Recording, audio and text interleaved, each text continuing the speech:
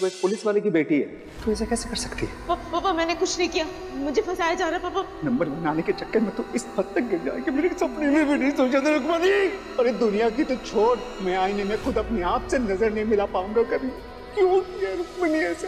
तुमने सोचा भी कैसे कि तुम्हारे जैसे पांचवी पास चाय बनाने वाले के साथ मैं शादी करने के लिए मान जाऊँगी?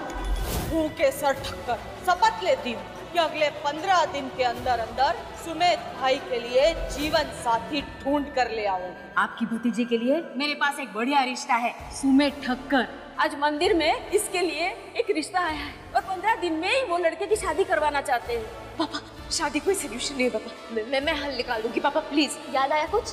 परी बनना चाहती थी ना तू? तो आज तेरे बचपन का सपना सच होने जा रहा है तो तुझे